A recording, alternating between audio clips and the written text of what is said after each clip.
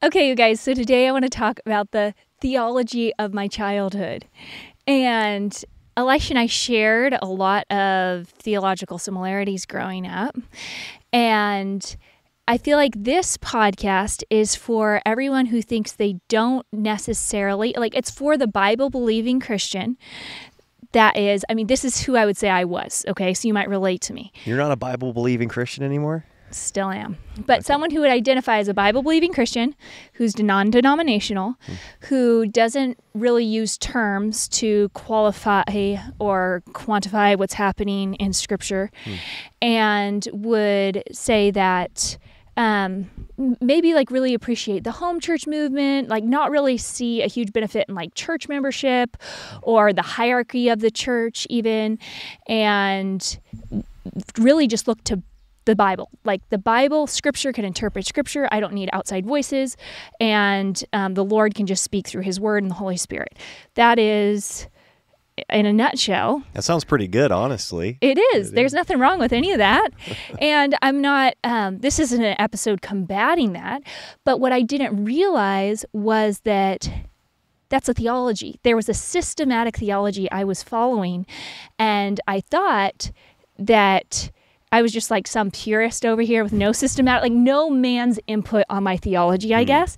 And re- Elisha and I recently read a book where I was like, oh my goodness, I have been following a pattern of systematic theology, or my childhood was following a pattern of systematic theology that I didn't identify with as systematic theology. It wasn't necessarily taught to me that way. Um, even the terms I was using were just more, I just thought all Christians use these terms. And I didn't realize that there was a lot of thought and effort and study and um, stuff that went into that theology. So, anyways, I just, it was a really eye opening experience for me. And Elisha and I changed some of our, like, I, I don't believe identically to how I grew up. I do think there's pros and cons. And like Elisha just said already, nothing that I mentioned was bad. And, yeah, maybe with the exception. I mean, there was a few. Things. Well, we're going to kind of cover. Yeah. yeah. there are some things that I do think are just straight up unhelpful. But technically, this is an introduction, and I'm just kind of diving straight in. So, anyways, if you guys enjoy this podcast, give it a thumbs up, share it with a friend. Feel free to comment, disagree, agree down below. Uh, we love hearing your thoughts. And if you have any questions, you can put them in the Q and A box that we will also link down below. And share this podcast with a friend if you enjoy it.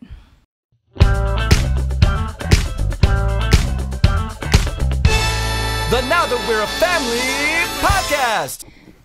Can I do a disclaimer real quick? Whoa, okay, already. yeah, sure. I'm the king of disclaimers, and so it's kind of refreshing to hear you want to give a disclaimer, honestly. Well, because when I say the theology of my childhood and how I was raised, I don't want to say that everything that I believed was necessarily like taught to me by my, my parents right. or by my church, or it was, this was just kind of, some of it was picked up by osmosis, like mm-hmm. just the believers we were around, the culture I was in here in America, um, the assumptions that I made from scripture. And so I wasn't necessarily, you know, if I have things that were off or whatever. I'm not saying, "Oh, my parents taught this to me this way" or or anything like that. I do think some of these aspects were in our home. I really respect my both my parents and they gave me such a desire to have a relationship with God mm-hmm. by watching their relationship with God and having the Bible taught in our home. They gave an incredible foundation of scripture. And I'm just so grateful. And so um, some of the some of the things that I'm I've kind of like pivoted on or even things that I have interpreted were just my own interpretations. Yeah. You know, it wasn't it wasn't necessarily oh my parents' error or anything like that. It was my own error. Yes. Yeah. Likewise, because I, I, think if if my if I sat down with my parents and was like, what were you intentionally instilling into us? You know, when it came to biblical truths, it would be rock solid. Yes. You know, Christian teaching, just like it was with your family, and just like uh, that's how our parents are. And so, when we look back to our childhood, hopefully, those of you that have listened for a while know how eternally grateful we are for our childhoods that were seeped in Scripture. The fact that, you know, both of our fathers were men of the word, that our mothers were women of the word, where uh, Mm-hmm. really not, it's actually convicting even now as I'm saying this. Not a day would go by where I wouldn't see my mother or my father in God's word. And yet, how, you know, I, I'm thinking of my children. And I'm like, do they see me in the word every day? It's like, yeah, most days, you know, like it's it's really convicting actually now that I now that I think about it. And so I, I could we couldn't be actually I'll speak for myself. I couldn't be more grateful for the biblical foundation I was given uh, in my in my home and the the energies the, the energy that my parents put into instilling God's word in, into our hearts. And I think some of the things that I picked up that I was able to identify in this book, like you said, it's not even that it was taught. It's just that it was around. It was the culture that we were in, and terms and phrases uh, were used, and concepts were believed and, and practiced that I you, you didn't even realize you were doing it, right? You didn't even realize you were believing something. Um, and so it's just fun to identify. And I think even with our parents, it's fun for me to identify when I think of my mother, you know, being brought up in, in Catholic school and then her and her family then going to a Presbyterian church. Then my father really attributing a lot of his salvation, um, you know, experience to Young Life. My parents being Young Life Christians and then going to a Church of God and then going to, you know, being a part of Shield of Faith and having that be a big part of their life. And then going to a Nazarene church. And you're able to kind of retrospectively go back and say, okay, that that actually makes sense that these terms were were a part of our home, whether or not it was extremely intentional or not. yeah i think a lot of the language that was just around that that this book clarified for me was christianese. Like i just thought every single christian believed this or knew how to talk this way and i didn't realize that these terms were specific and meant specific things. In the fact that like someone thought through this was th- these terms were popularized at a certain point um, for a certain reason. And why i why i bring up that point was because you guys if you know elisha's in my story you know that he was reading some reformed books when we were dating the first time. And i had a major issue with that because i really just saw any form of term as being divisive. I thought the study of theology was just something which is funny now you know seeing it just as the study of god but the study of anything apart from god's word i should say. So reading man's opinion on scripture was um, just to puff up knowledge make you feel good about yourself and it just caused dissension in the brother brethren. Um, it was just really like it didn't matter to your personal walk with christ and so why would you go there you, you're just a proud person if you were trying to define terms and then argue or debate terms and um, it was just kind of like ammunition in your back pocket as a christian and it was just divisive so that really, really bothered me. And I didn't realize that I had my own set of terms that had been defined by the culture and by the past 50 decades of Christianity, 50, 50 decades, 50 years of Christianity here in America. I just didn't realize that they were terms. Hmm. I just thought these are just the Christian vernacular that everyone, you know, It's just Christianity. yeah, It's this Christi- is Christianity, and Yes. that is wrong. Yeah, well, yeah, or even if it's not wrong, it's like extra or it's unnecessary, maybe. Unhelpful to the body. Okay, unhelpful. I definitely saw it as unhelpful. Yeah, and that would be my response. I think when y- you come across somebody and they say, "Hey, are you, um, you know, are you a Catholic?" No, I'm, I'm a Christian, and they'd be like, "Well, yeah, I'm, I'm Catholic and I'm a Christian too." It's like, so are you Protestant? I'm like, no, I'm just a Christian. Like I'm just a Christian Christian, and just a Bible believing Christian. And it's like I would want to be. I was non-denominational. I didn't have a tradition that I was coming from. Uh, the tradition was Christ, and and I I think the ideal was really to look back to the early church and be like, this is where my faith comes from. The early church being the epistles, right? Paul's epistles, the Gospels, the epistles. I mean, like that is that is the only tradition that I have is that right there. And then it was my personal salvation, you know, and you've already used one of the lines, right? Like your personal walk with God. Like you didn't see it as being helpful to your personal relationship with God or your personal walk. And and even that right there, that term that was like popularized in a in a specific time in history and primarily American history. And and I think it's just um, it's helpful to to put some backbone and give some context to even the language that we've been using for years now. And this book's been helpful. I mean, well, yeah, we like keep talking about the mystery book, but I think it was helpful because it, I I still stand by. I see so much of what this book. So it was it was about dispensationalism. And It's called the rise and fall of dispensationalism, and I think it was very helpful because I still don't know where the author stands with any of this stuff. Like no, I feel like, like, a very academic approach like, to dispensationalism. it feels very objective. and I have to say, we haven't gotten to the fall of dispensationalism. I mean, I think a lot of us feel a change in the air in terms of the conversations that are happening. There's a lot more um, variance and discussion, and there's a lot of different theological opinions now being thrown in the ring in terms of some things that were just assumed. Um, we're now kind of going back and being like, okay, well, why was this assumed? You know, but we haven't gotten to the the reason why the author says, you know, dispensationalism has fallen out of grace. So just so you guys know, we're like three quarters of the way through the book.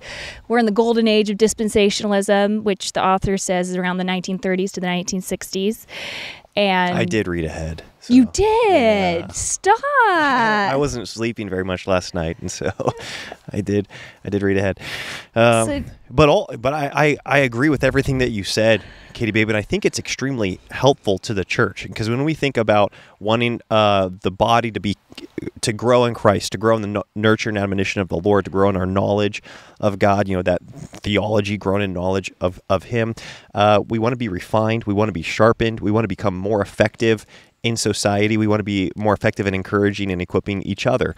Uh, and I think having beliefs or terms or phrases or just like just even doctrines challenged things where you have to go back and rethink it is helpful i used to see that as being unhelpful and being like well let's just keep the simple i would use terms like just the simplicity of god's word or just the simple gospel like like why are we complicating this it's very it's very simple and I and I still do think that the gospel is very simple, and that's you know so much of the profundity does come um, from how simple it is uh, to the, the gospel. Uh, however, because of society, because of life, because of the world, when you are challenged and when you are at times even forced to solidify your belief, I think it's helpful to the church. It's helpful to your own faith and to your family. And so I like that there's this, you know, amongst millennials and amongst our peers, there's this kind of resurgence of re uh, re-clarifying almost, you know, re re-solidifying what the fundamental beliefs are of Christianity, and in doing that, you start to go down this path, this path of like, well, what if, you know, what if past Christians believed, and then all of a sudden you're into church history, and then you're into the councils, and you're thinking about the creeds, and you're thinking about different ways, different lenses in which you've viewed God's word and the Scripture, and I think it's all very helpful. We love live music in our home. I think you would love live music in your home if you don't already enjoy it in your home. And that's why we made Voetberg Music Academy. Check out the coupon below and you get a special discount for being a listener of this podcast. And you can bring live music into your home piano, guitar, fiddle, mandolin, ukulele. If any of those instruments sound like fun to you to learn or to have your children learn, go check it out. Yeah, we are reading The Coddling of the American Mind, which is a phenomenal book. And the author the authors just bring to light the importance of a healthy environment has discussion and debate and that's a growth environment. Hmm. That is where you're being challenged. That's where critical thinking is happening. That's where you're forced to go to god's word and being like okay so so and so didn't agree with me on this. I just thought this was assumed. What does scripture say about this? Hmm. What do i believe about this?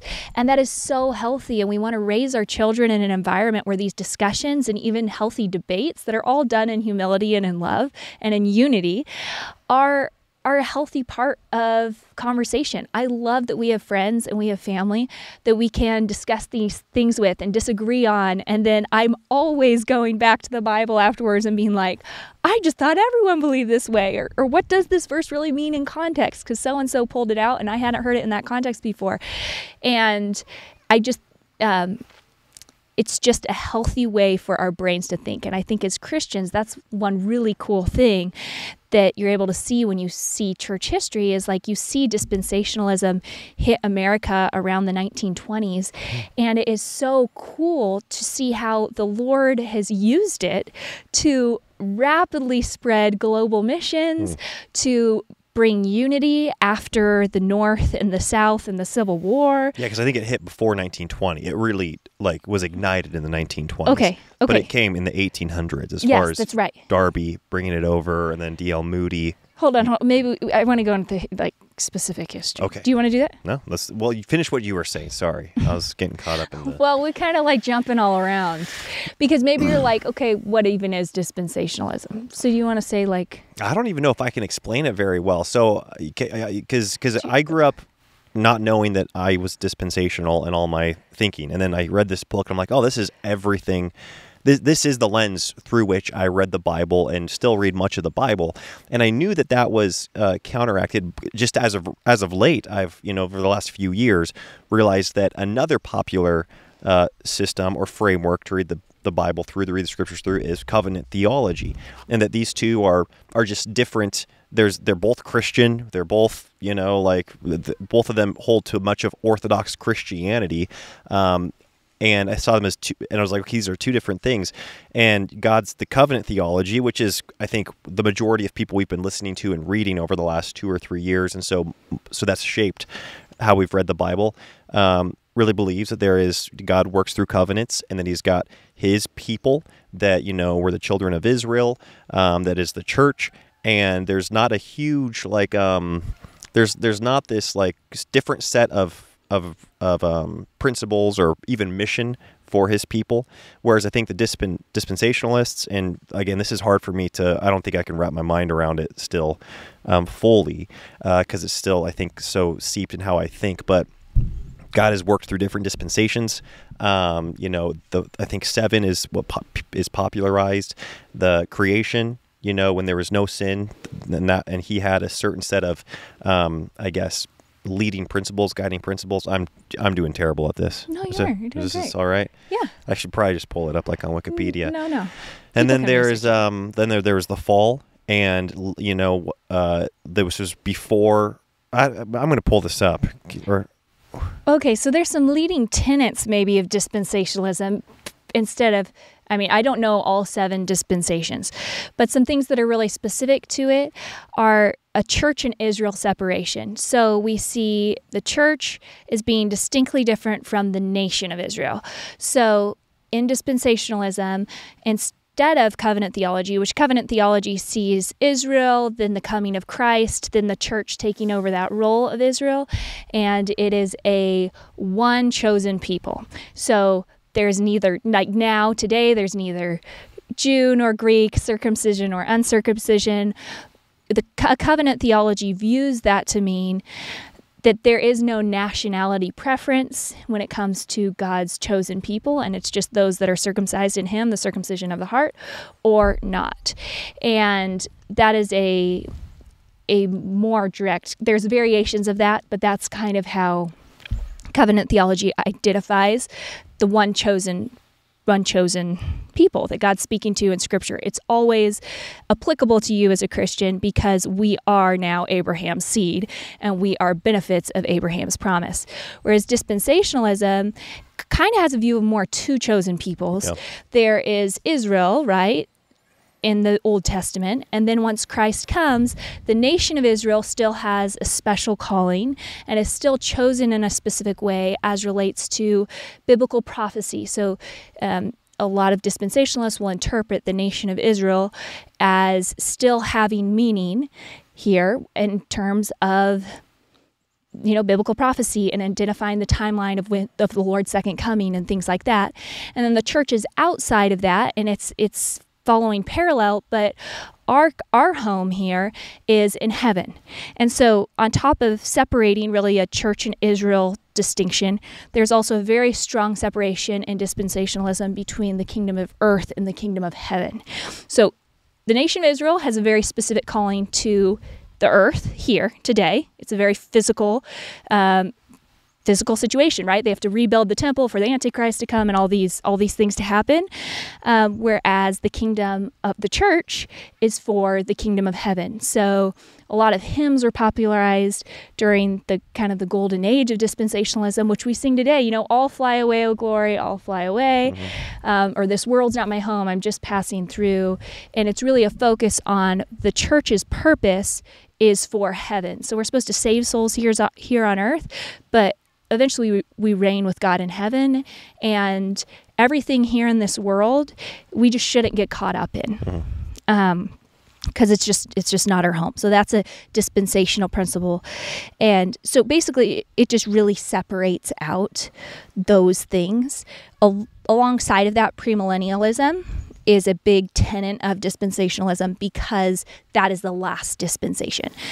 Christ's second coming. So I don't know if you want to explain the dispensations now, but that's kind of what stuck out to me are the like the core tenets of dispensationalism is that separation. Yeah, and I think that that was a huge factor in how I would then read the Old Testament growing up, and I think how many people do, trying to understand how this relates to me as a as a Christian, as that you know that other chosen people that is now just reserved. You know, I, am what is it? First Peter. You know, you are holy nation, or no, um, wherefore you are. You know, you have a um, godly inheritance reserved in heaven for you. Like that was my inheritance. It was reserved in heaven for me. And everything else that the Bible would talk about when it came to earthly ramifications was just like I don't like I don't know how it relates to me. I don't know what, why it pertains to me at all, unless it's maybe helpful in, in saving the soul. What were you? Did you find it?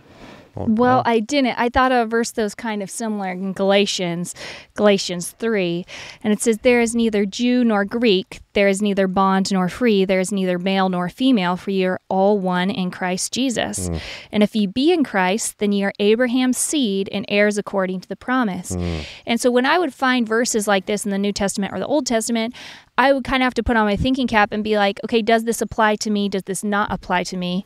Um, I'm clearly not of Jewish descent. I'm grafted in to, you know, Israel, but I'm not literally Abraham's seed. Right. It's figurative, right? Yeah. So these verses kind of as they especially if I'm reading them in the Old Testament, I would say, okay, well those clearly applied to the nation of Israel. If I'm reading them in the New Testament, then there's a good chance that they're applying to me. Mm-hmm. Unless Paul's speaking specifically to the Jews. But you kind of have to sort out which chosen person yeah. Is he speaking to the nation here of Israel or is he speaking to the church? And that's kind of something that I always um, was was confused about with certain passages in Scripture growing yeah, up. exactly. Because there are some promises to his to God's people that talk about earthly reign. They talk about earthly rule, and but then the one I was referencing is First Peter chapter one. Blessed be the God and Father of our Lord Jesus Christ, which according to His abundant mercy hath begotten us again unto a lively hope by the resurrection of Jesus Christ from the bed from the dead, to an inheritance incorruptible and undefiled, and that fadeth not away, reserved in heaven for you, who are kept by the power of God through faith unto salvation, ready to be revealed in this last time. Because that, that was one that we memorized growing up. You know, it says, Wherein we greatly rejoice, though now for a season, if need be, ye are in heaviness through manful temptation. And I was like, man, that that like encapsulated much of how I viewed this life right there. Is this is all just a trial. This this whole earth existence is a trial, and our only reward is going to be in heaven. And we are weary pilgrims, you know, and that's why you sing "I'll Fly Away" because there is no really like joy or victory to be had for the for the church here on earth. It's all reserved in heaven for um, for for us who are kept by the power of God through faith unto salvation.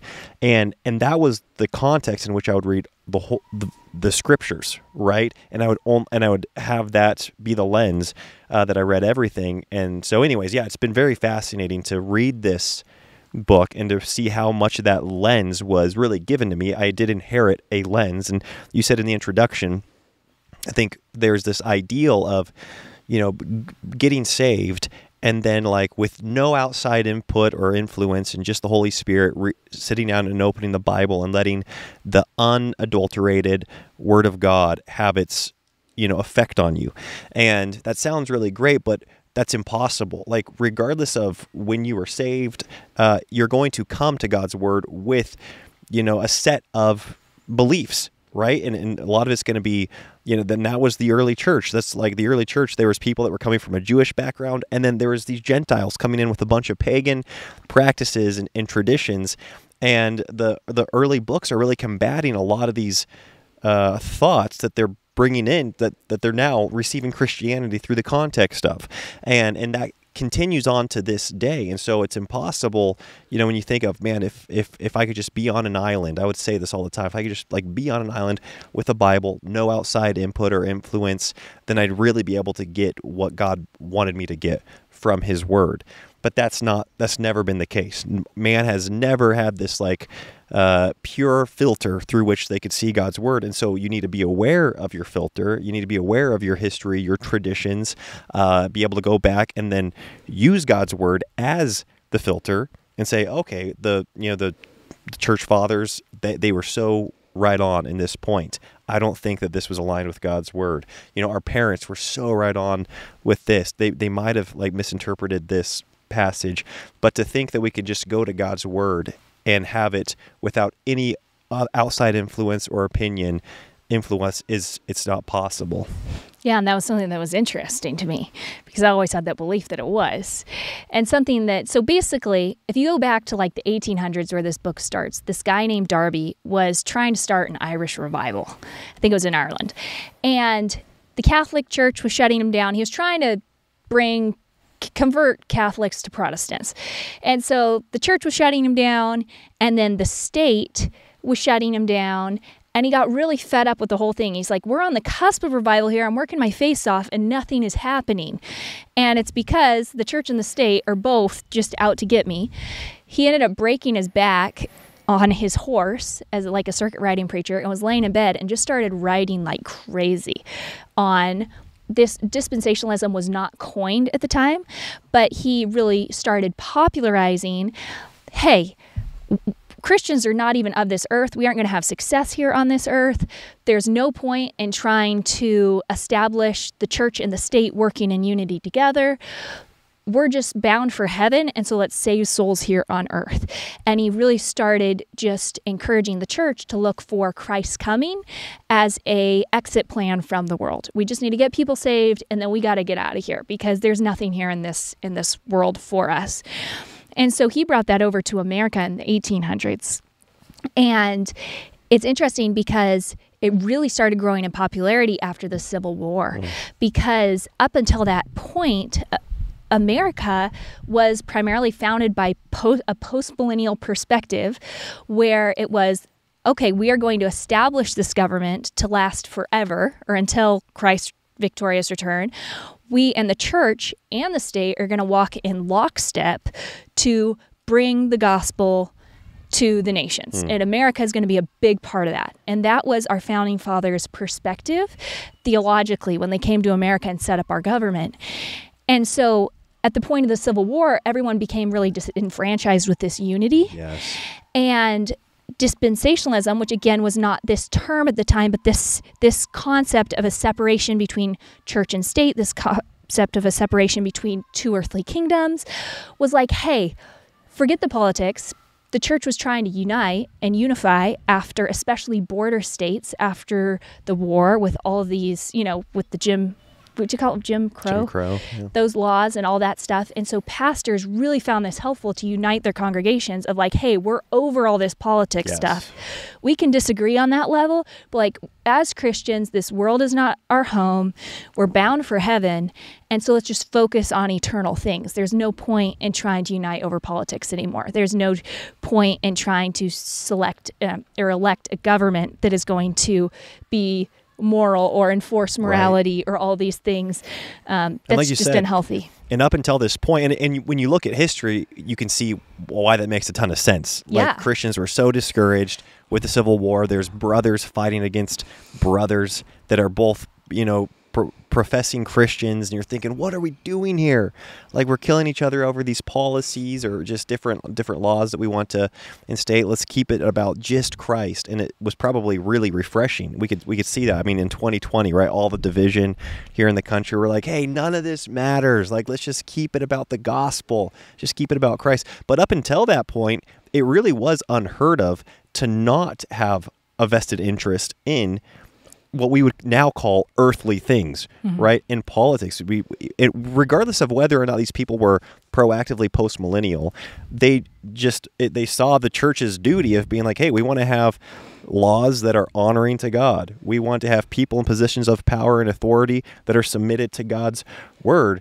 And as a result of that, they were they were involved, and so it really was a turning point for our country. And like you said, you can see you I, you can see why. Like, talk about a dramatic thing to happen to your Mm-hmm. country where there's this civil war, and churches are trying to find something to unify over, and they by and in order to do that, they kind of like had to subtract as much as they could. There's kind of like a, we can't talk politics. Let's get out of business. Let's get out of you know literature. Let's just keep it about the gospel. Let's just keep it about heaven you know, Katie, with the Get It All Done Club, even though you sell that to women and it's for women, I feel like the husbands and men are the biggest beneficiaries of that program. And and I cannot tell you when you implement these systems and when you started being conscientious of how you were running our household and how you were managing yourself and you were maximizing your time. I was like, wow, who is this woman? You were so enjoyable. You were always enjoyable to be around. But it's like you went, there was truly a 2.0 moment, I feel like, in our life. And I don't know if husbands realize how much it benefits them when their wives partake in the Get It All Done Club.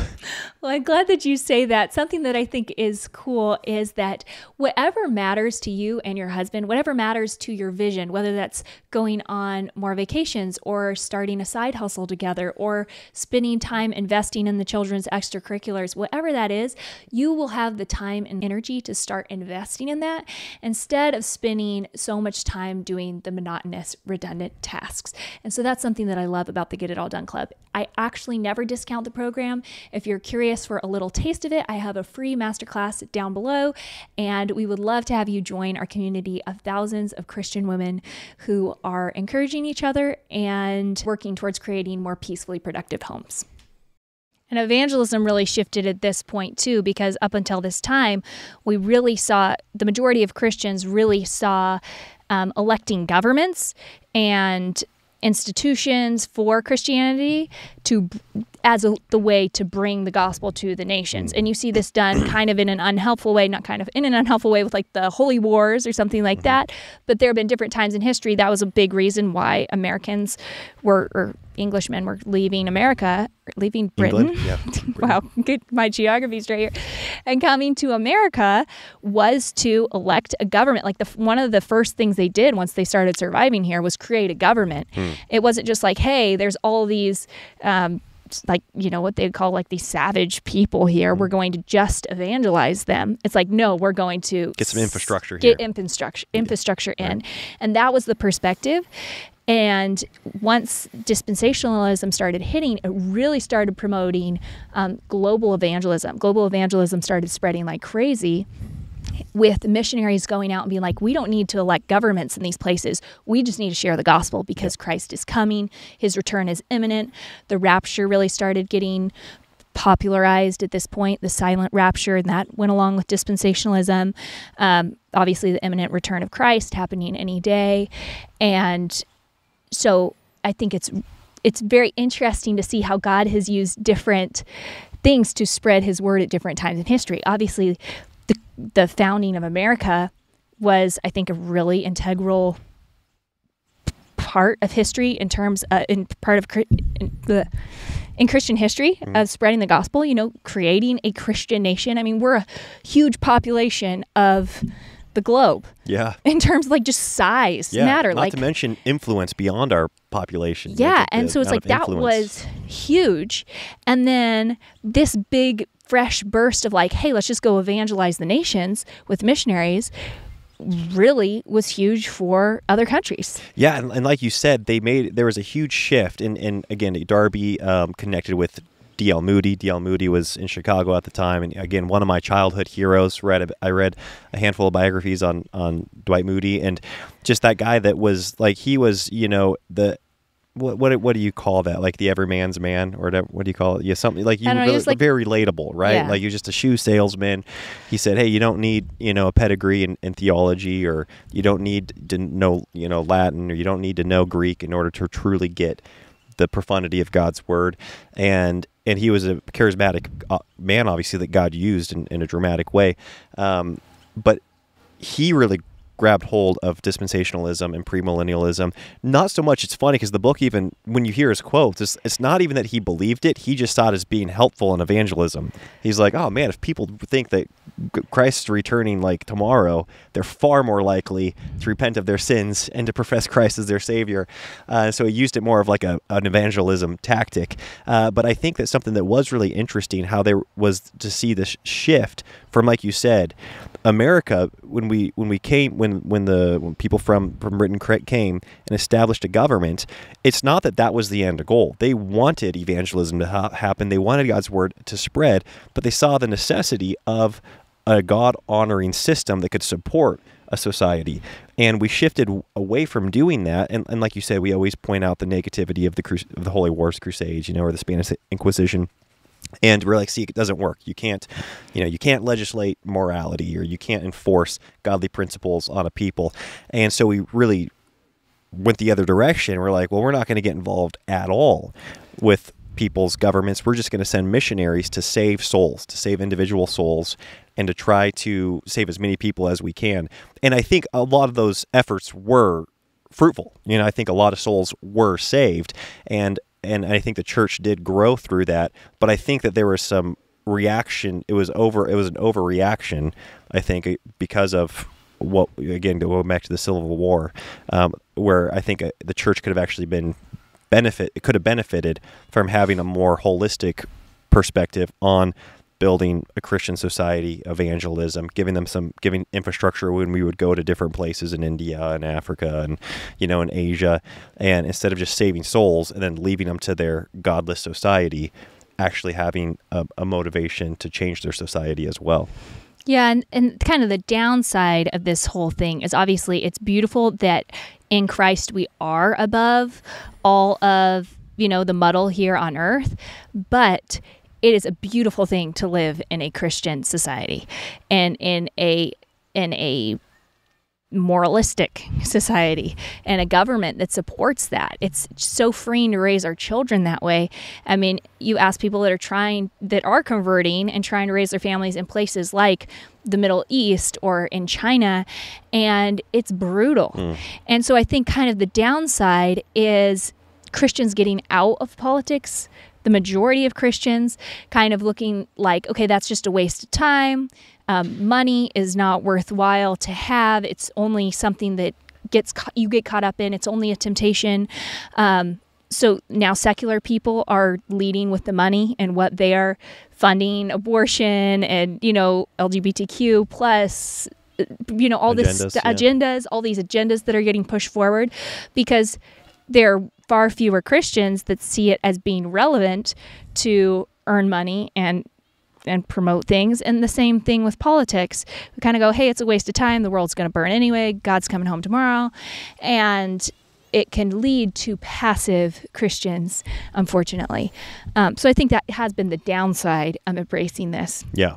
But there have been good good parts of it as well. Yeah, things that I really appreciated about when I was reading early on Darby's writings um, just that concept that you don't need a priest, you don't need a, a clergyman to explain the word of God to you on a daily basis. Like mm-hmm. you, when you have access to God's by when you have access to God's to a Bible, you have access to God's word, right? You, the the layman can receive food from God's word by sitting down and reading it. And that was something that really was a novel concept at the time, obviously still fresh off, well, not fresh, but closer to the Reformation, where the Catholic Church had such a strong influence on all of Christianity. And even early Protestantism really put a high high place on the clergy. And I think evangelicals and, you know, our modern church could put a higher place on it now. That's another shift of dispensationalism is like not valuing at all the, the church offices. Um, but I do think that that was that was a positive thing. I, I liked that mm-hmm. he emphasized like, hey, sit down and read your Bible. You know that that term that um, what was it like? Every every man's a pr- we're our our own priest or something. I forget I forget what it was, but it's like we Jesus Christ is our mediator. We have access to God the Father through Him. Sit down with the Word of God.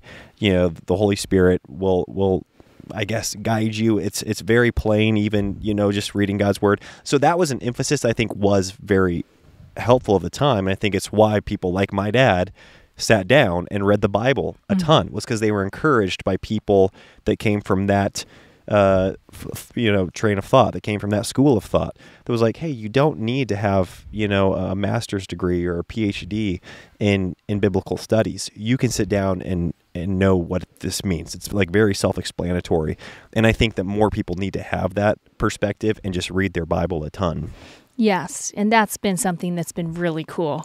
I agree with that. And and something that was really interesting to me as I was reading this was like, "Oh, this is why all the believers I was raised around were very anti church membership, church hierarchy, denominationalism. This was all from that um, wind of, of dispensationalism coming in and through America. Was I think it started with a really awesome thing, which is every one of us can open up scripture and learn from it but it also skewed toward you know people we're humans right and we like to take things to a place where they're they weren't intended to go and toward anti-intellectualism Yes. and a dislike of someone else's input on the scripture a dislike of spiritual authority being anyone aside from the bible and god Yeah. not seeing any reason for the church hierarchy um, in terms of leadership or spiritual authority that way. Um, and so I think it can lead to and and this is what the book points out even these plain readings of scripture that were really popularized um, by darby was this bible reading method which was hey just read plain scripture right it started kind of turning weird. It was open to actually, it sounds really good, but it's actually open to even more interpretation because you don't have church history backing it. And so we end up with things like numerology. And it's funny because I thought, wow, numerology is so cool. Don't you see how scripture aligns and connects and all these things? But when he goes into even the man that wrote the first popularization of numerology, he goes, well, it becomes kind of confusing when division and multiplication and addition and subtraction are involved. And it was kind of interesting how even this numerology is very open to very open to interpretation, I guess, because any number can be divided and added and subtracted to end up with the explanation that you want, you know, or we ended up with pure pyramidology Yeah. um, and all Well, these just- different t- forms of interpreting scripture that again if you were like a one guy on an island coming up with a theory this might happen Yeah. and it can be kind of unhelpful and i think we see that with um, the cult that my grandpa and um, family my dad and his brothers they grew up in was it was a lot of man's interpretation getting added to scripture even though it was supposed to be a plain reading and eventually um, my grandpa got excommunicated from marked from that group and kicked out because he he was like, "Hey guys, this is not right. We can't be doing this type of stuff." But they didn't really have the church structure or the church disciplinary structure to like be kept accountable to God's word, the leadership in that in that group. And so while it started out with really good intentions, man's just infusion into the scripture just started meaning whatever they wanted it to mean and there was no accountability. So there's kind of like there's pros and cons to this um, No doubt. Because when you say just have a plain reading of scripture, that sounds so nice. Yeah But then what is that? Like what a plain reading of scripture is going to be so different with each person. And, we know that from other literature, right? We can all read a poem when we know much of the you know parts of the Bible is poetry. We can all read a poem and have a completely different takeaway from it. And so you try to get a collect so what do you do? You get you find the author's intent. You're like what's the author's intent in this poem? And they ultimately are the authority on it. But I do think that systems can help you get to the author's intent when it comes to God's word. We don't want our own private interpretation of God's word. We want to discover the author's intent. And something that I always used to say, because I heard, you know, one of my favorite pastors say it growing up, and I don't think I believe it so much anymore. He says, when you read the Bible, the last thing you should ask is, what does it mean? You should just ask, what does it say? And I was thinking, well, that sound that makes sense because if you ask what it means, you're infusing your own thoughts into it.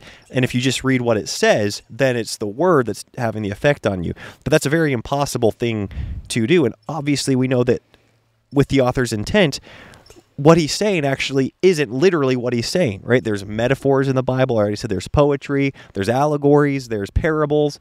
And so if you take that logic and you say, well, what does it say and apply it to everything in the Bible, then you will be I think led astray at some point. So asking what does it mean is a is an important question when you're reading when you're reading the Bible. But then having some structure to then discover what it does mean, having uh, so a system to work with, having some church history, having other thoughts and voices to be able to uh, uh, rely on, or not rely on, but to, to look to for, for help. And and I'm going to say one more thing, something that was really, I guess, discouraging, not discouraging, I don't know, humbling, was how how unoriginal I felt when I was reading this book, and how it's been such a common thing for, well, at least you know, for the last few hundred years for for basically young Christian zealots to be like, hey, like let's actually start our own church that's truly un uninfluenced by government or by all these church traditions, non-denominational, you know, and where we just get to hear God's word, and it's just like the early church where you know we're all in one accord together because that was me and you know like pretty much all my groups of friends. And actually some of those groups of friends did start churches right? They that with no with no church uh, history behind it. It wasn't a church plant with no formal pastoral training because, you know, where does the Bible talk about there being a need for pastoral training? Anybody can start a church, anybody can be a pastor. And and that was much of my young adult life and just I held to that like anybody that went to seminary, it's just they were going there like you said to puff themselves up, to learn old dead terms that just make them feel more important than they really are, rather than seeing God's word and discerning between what's right and what's wrong in God's word as being a skill that can be acquired through study and through leaning on other experts. Anyways. Yeah, and seeing the church as a gift that God has given us. Yes. Because even like Elisha pointed out, when God gave when when the early church was happening, God gave the church, the disciples, the apostles, to be able to teach His word, mm-hmm. and, and and to establish the doctrine, establish those things. Yeah, and so the church is a healthy, helpful thing that God has given us, and it doesn't. It, yes, it's imperfect. It's not infallible like no, the Word yeah, of God word of is. the authority, but yes. it can help us in interpreting the word of God. And so when we just sit in isolation outside of the church and um, I grew up in a lot of home churches and stuff like that and and often those were formed by people who just really saw the church as being nothing but unhelpful and eh, meaning the church is obviously we're all like as believers a part of the church but the the physical church buildings and just really wanted to get away from all of that where i think that that's a helpful guide that the Lord has given us. Oh, I mean, it's it's exactly it's how we are to live and have our being. It's in the context of the church. And and even though uh, individual salvation and regeneration needs to take place for uh, for that person to to be saved, it's like the epistles are all written to the church, right? They're written to churches. They're not written to individuals. Of course, here we always take them and apply them only to ourselves, and we say, what does this passage mean to me or how am I going to apply this to my life? What's the personal application? Uh, and, and you know what's interesting is this book also highlighted this turning point where they stopped they kind of like that whole nominal christian or sincere christian or truly regenerate. Actually they didn't use the term regenerate. They said you know a truly born again christian. Terms like that really started becoming popular um, and, and I think it was I think this is one of those things that in the big picture was harmful. Even though on the surface I think it was it seemed helpful in the sense that they didn't assume everybody in the congregation was saved so they said, we need to evangelize to the church. And so they said, I don't think people are really saved here in the church. And so we need to bring the gospel to the church. And on, on, on the face, I think that's good because we, we always need to hear the gospel. I hope every church in America hears the gospel on a regular basis. And that's why I do love there being, you know, in some liturgical churches, the creeds being read on a regular basis every Sunday, you know, the gospel being clearly laid out as part of the service. I think that's crucial because Christians need to hear the gospel on a regular basis. Uh, however, I think what that did a disservice to was actual church discipline and the function of the church because when you what what I grew up saying was if somebody was living in sin, then they weren't really a Christian. if somebody didn't wasn't taking their faith seriously, you know, that's like in air quotes, or they weren't really walking with the Lord, or they weren't um, sincere in their faith, they weren't really a Christian. And if you were sincere in your faith, then you were going to do X, Y, and Z. You know, walk in purity and and pursue the Lord, read His Bible every day. And everybody that was going to church that wasn't doing those things were just nominal Christians. But I think that the reason that's a disservice in qualifying people like that is because when you look at the epistles, G, or Paul is writing to the church and he's then rebuking people that are living in sin as brothers, as sisters, as fellow members of Christ's church. And that's the context in which he can rebuke them. And that's the context in which we can go to a fellow brother and say, "Hey, like you know, you seem to be drinking too much," or "Hey, you know, are you how are things going with you and your wife? You seem to not be treating her well. How are things going there?" Or if there is fornication, if there is sexual sin, what is the mechanism for then disciplining that person and bring calling them to a higher level. When all you view those people as is just non-christians you don't really do anything about it. Because the bible also has the instructions for what to do if those people continue to live in those sin those sins that you call them out on and call themselves brothers it's like well disassociate with those people. But that's a completely different thing than saying like what became really popular to do and I grew up doing this, like, well, they're not really Christians, or they're not sincere in their faith, or they're not born again. Uh, you know, I don't, I don't think they're taking their faith. They're not walking with the Lord at this time, and so you just hope that they get saved. When in reality, when you look at the New Testament, saved people were falling into sin, and then it was the church's job to call them out of that sin and to build up the church. And so I think that that was one of those in reading that the whole kind of like history of that and realizing how that's exactly how I I don't I'm, again I don't think my parents taught me to think this way at all. I just think it was the world, the culture we lived in where you didn't if you saw somebody that was showing up at church or even if you went drove past a church on Sunday and the parking lot was totally full, you'd be like, well, 90% of those people are not Christians. Like that was just the assumption, right? Like you're like they they're not really Christians. There's probably some sincere believers in that building that that truly love the Lord you know, that really want to want to honor him. Everyone else is just a nominal Christian or they're a cultural Christian. And I think that again, it's doing a disservice to the actual church because when you view because what do you have if you have to take people at face value at some point. Say, "Hey, I'm a Christian." "Oh, right on. I'm a Christian too." "Hey, yeah. Well, yeah, I live with my girlfriend." "Okay. You said you're a Christian. Why are you living with your girlfriend?" Versus which I've done countless times. I'm a Christian too. Oh, I'm a Christian. I live with my girlfriend, and I think to myself, well, they're not really a Christian, and I walk away. Right? Like that's the. It leads to really judgy Christianity. Yeah. Is what it leads to. And like you said, it's really unhelpful to the church. And this is again why I'm reading this book, just going like, oh my word, this makes so much sense in the light of American church history why we have this vocabulary because all the revivals were happening during this time. So people were getting saved, making this profession of faith in a moment. And this was actually what was really popularized during the revivals was um, praying the sinner's prayer, mm-hmm. right? That was really popularized during this. And so all this evangelism was happening like fire, and Darby's followers, called the Brethren, which I just I just think it's ironic they were called the brethren because like they didn't want to associate with you know anyone else so they're just like this this little small let group. But they were going in and the author makes this comment that this was the first time in history well he was quoting someone else who was saying it at the time but this was the first time in history where such a um, there's always been an, a known understanding that the evangelist and the discipler or the teacher had very different roles. Hmm. So the evangelist saved people, the teacher came in and discipled. And that was always an assumption in Christianity, but this was the first time. Well, God saved people. yes, yes. Yeah, but the evangelist would preach the gospel. Yes. Yeah. There exactly. were different gifts in yeah. terms of of teaching. The evangelist who's spreading Christianity like wildfire does not have the opportunity to give each individual believer the discipleship that they need to really ground their faith. And so this was the first time in history, though, that the church and the brethren went in and started feeling the need to evangelize the church hmm. instead of just viewing like yeah these are baby believers like we read in in we've been reading a ton of the new testament in light of this book and you know Paul is calling out these people for incest, the church, uh, adultery, lasciviousness, Drunkenness. drunkenness, all these things were in the church. And he's not saying, hey, you guys need to get saved. He's saying, hey, stop doing this. You're Christians. Yeah, repent. Like, repent, from repent from your sin.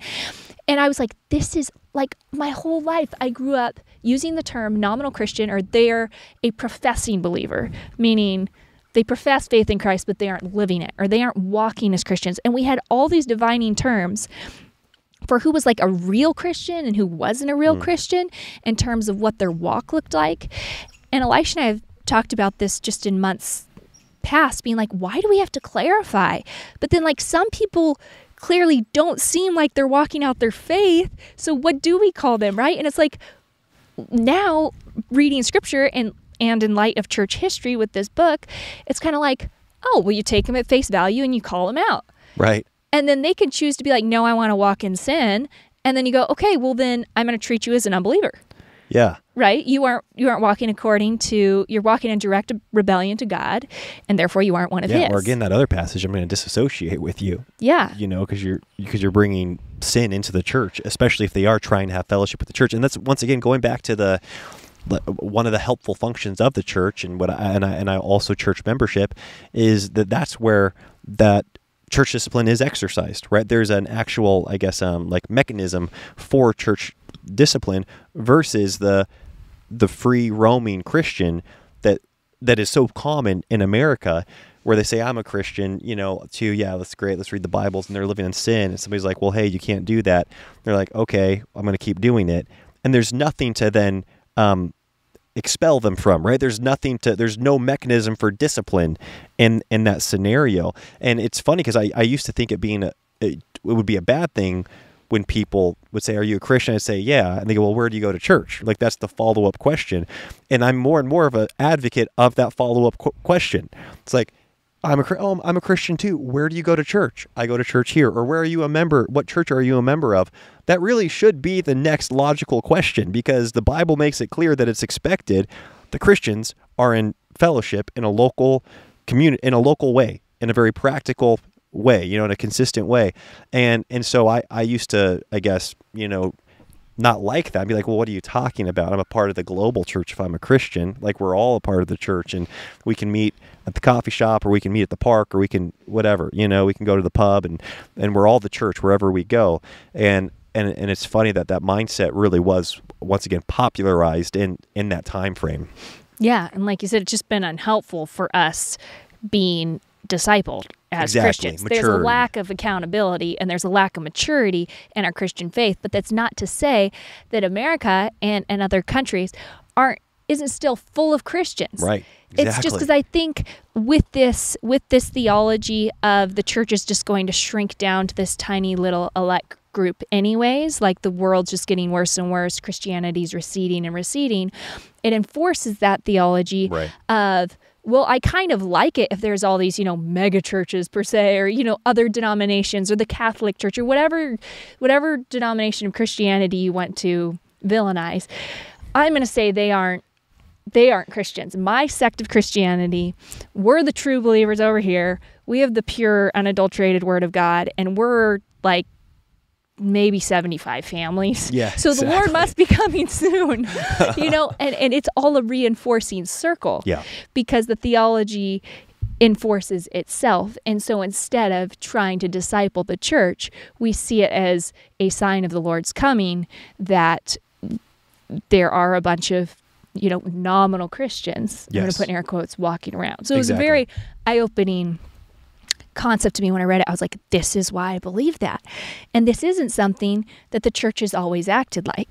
This is a fairly recent um, speculation on the church in terms of the revivals and even the concept of like like when he pointed this out it was like we use this all the time growing up like oh they're a worldly christian or they're worldly they're acting worldly and i remember i was dating elisha and he was like what do you even mean by saying they're worldly like would someone say you're worldly like they're worldly if they you know wore x outfit or they're worldly if they whatever. Yeah, drink alcohol or watch these movies or had a tattoo or you know there was just like a list of arbitrary random things i had where it was like you're worldly if. And he's like i feel like you need to be more specific in those terms and he really challenged me on that.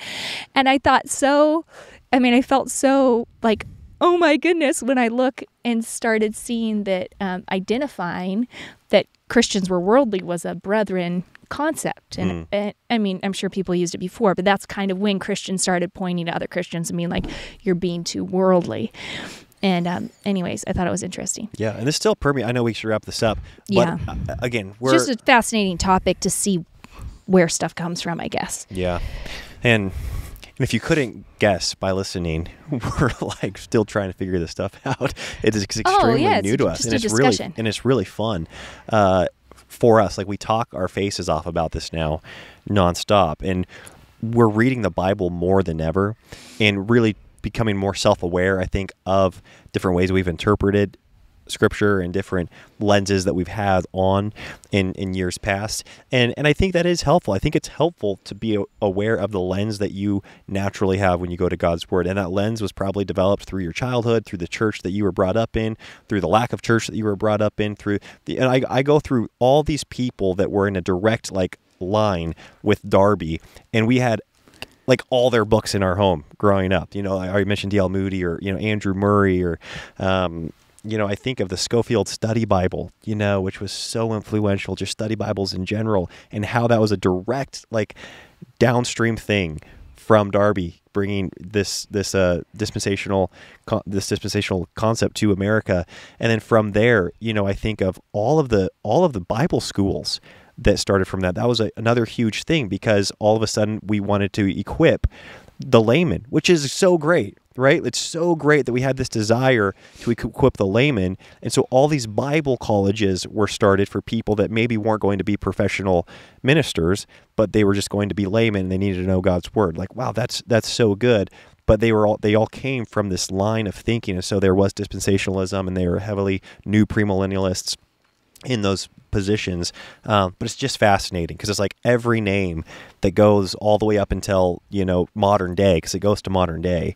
You just see this direct line how they're downstream from from this from this thinking from this lens to view from which through which we view scripture. Yeah, so something that was like, you know, taking that like 23andMe like ancestry test or whatever, and all of a sudden you're like, oh my goodness, I have this in my ancestry. I haven't done it yet, but that's what I picture it being like. That was this moment where I read about, so I grew up with, um, Eh, like grandparents who didn't believe in being baptized or taking communion. Mm-hmm. And I've talked about that on this podcast. I got baptized as an adult. A lot of my family members have gotten baptized as adults after being saved for years and years and years, but we were just taught that baptism was something you didn't do. And a lot of us have taken communion in more recent years, but it was again something I never knew like where did this come from? Hmm. Like anytime I would talk to another Christian, they always look like me at me like I was an alien. Like you haven't been baptized? Why? And it was so crazy. I'm like underlining it to hear, oh, ultra dispensationalists. Again, there's a term for this, believed that there are these different dispensations of time, and they basically believed that the dispensation of grace, and, and I might butcher this, okay, I'm going to do it kind of vaguely.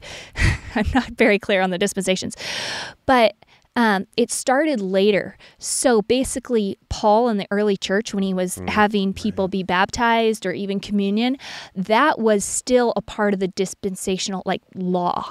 So those things were under the law, and because we are free and under grace now, and this new dispensation is the church, that dispensation with ultra dispensationalists didn't start when Jesus rose from the dead. It started after the early church. And so, therefore, by doing baptism would be the equivalent of like offering a sacrifice mm-hmm. or something like the Old Testament would be.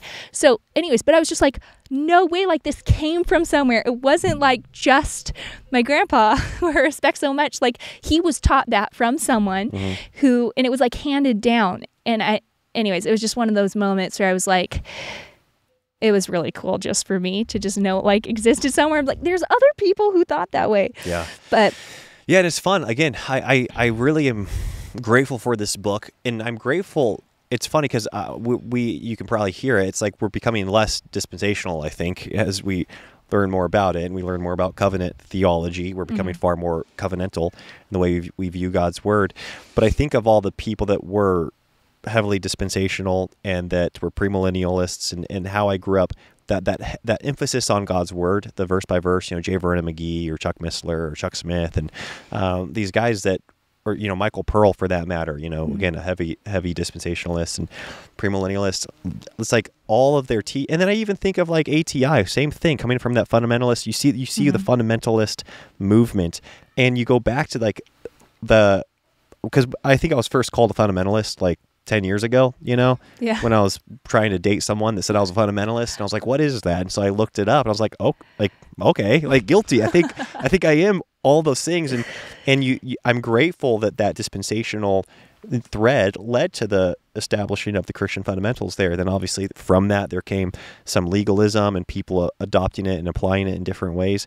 But I'm, I'm so grateful for God's faithfulness in continuing to. I think it's been so imperfect, and I think we can learn from uh, from the the past. We can learn from people that have gone before us, and hopefully improve upon it for the. The, for the refining of the church, for the edifying of the body, to walk more effective as Christians, uh, I really do think that we can do that. And and like I said, I'm so grateful for that that that I guess persistent pursuit of just people reading God's word. There, I, I think a lot of good has come from that. I do too. Yes. Uh, all the people that I mentioned, you know, the the whole, you know, Calvary Chapel movement, the verse by verse, the expository preaching, um, that's become so popular. You're like, that's actually really, I think, overall good. It's a Um, different form of accountability to have everybody in the church reading their own Bibles. No doubt. um, you know, it's accountability for the leaders of the church. So just like we as members of the church need accountability from the leaders of the church, the leaders of the church have more accountability when their flock is also studying the scripture yes. and can communicate with them. And um, it's not this like far off, Right. you know. Yeah, yeah. Again, I think the uh, well, yeah, we can go on. I think the extreme is that that that there is now no respect for the position of pastor or elder. Yeah, it's and that's just, really sad. It's just bro. It's it's like we're peers. We're all the same here, and I don't think that's how the Bible lays it out. I think that there is a, a higher calling uh, and, and definitely responsibility for a pastor, and and just like you know, we honor the position of father or of husband, not even so much because of the person, but because of the position. I think that there needs to be a there can be a a return to that when it's like, hey, a, a pat the past the position of pastor is an honorable position that has a tremendous responsibility.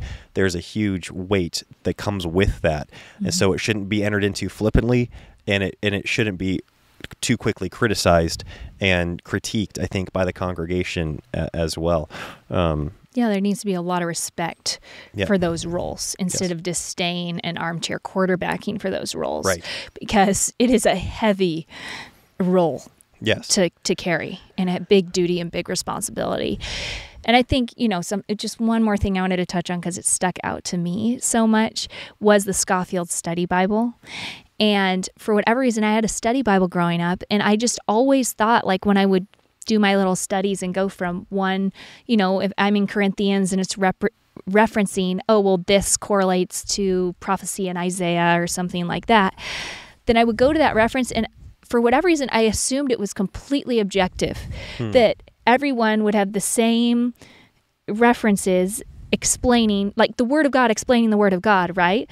But dispensationalists really popularized this kind of like concordance in your Bible where yes, it's the word of God explaining the word of God, but from a certain man's perspective who chose to say that this verse explains this verse, Yeah. you know? And I don't know why that was so eye opening to me, but it was. And I started thinking, I need to know who wrote the notes in my study Bible yeah.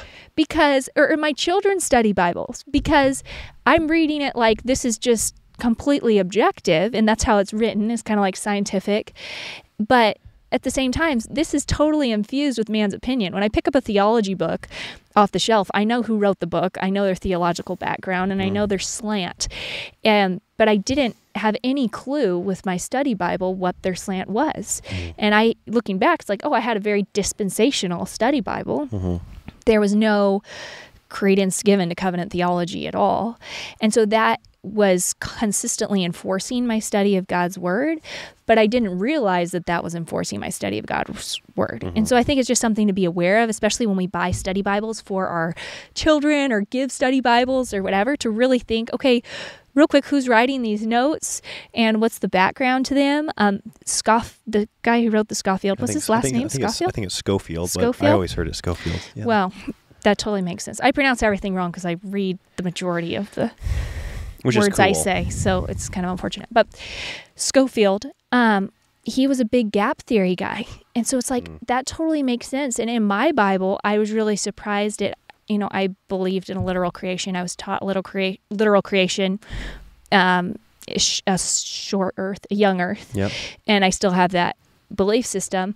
But I was really surprised that it was reinforced this gap theory Yeah, he my w- exactly. study He was- Bible. To many people, he was the first person to even introduce that, you know, this the seven day or the six day creation. It's like, well, these probably weren't literal days. You know, these are time. He he like These are ages. you know, and he put that in his study Bible, um, and that was a huge point. That was a that was a huge, yeah, I guess, a watershed moment in the church. because Um, that Bible was the Bible that was going out to Yep. all these missions because Yep. it was such a great resource to be able to cross reference the Bible. So, anyways, it was kind of like a warning or an eye opening moment for me to just be like, whoa, again, this is something I've just been receiving Hmm. and not considering what am I receiving here. And I think when we hear when I grew up and I would hear certain terms or certain sects of Christianity Christianity, I would immediately kind of have my guard up, like, okay, I'm gonna take this with a grain of salt.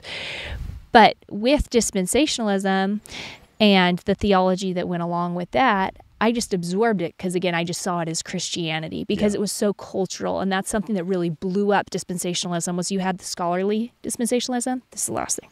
Yeah. But you also have pop dispensationalism. So you talk to a secular person and they know about the rapture, they know about the Left Behind series, they know about all the movies and talk shows and stuff that got publicized from this apocalyptic, dramatic um, projection, this imaginary. You know, people took it and ran with it with their imaginations. And um, so, anyways, so much of culture has just been seeped in this, Yeah. either from a pop angle or from a scholarly angle, that again, I just I just thought it was Christianity. And everything else was just like people being all dramatic about this. Yeah, exactly. about studying the Bible. And it's like I'm over here with like no preconceived notions, just reading the plain word of God right. that has been infused by by by history still. Right. So anyways, it's been it's been a really cool read. I do think beautiful things have come through dispensationalism. It's been incredible and I also think people have taken it and gone the wrong way with it too and some of the weakness we have as Christians here in America kind of stems from a lack of grounding because we kind of find it repulsive um, in terms of in terms of systems. You know, in terms of denominations or in terms of I think a lot of the issues maybe we have with even like mega churches or there's just a lack of accountability to, you know, denominations. I always saw as being very unhelpful and divisive in the church, but then you're like, well, they do have some kind of doctrinal accountability Yeah. you know, um, where a non denominational church doesn't. And you can end up with a celebrity pastor who's just a really cool guy up there that doesn't really have to answer to Yeah. Anyone or anything, anything. Yeah. you know? And so I think that can be kind of harmful too. So it's all a mixed bag. We're all, we're all humans Yeah. figuring out, and God is so gracious with us. Yeah. Amen. Folks, thank you all so much for listening, and we'll talk to you next time. Bye-bye. Bye.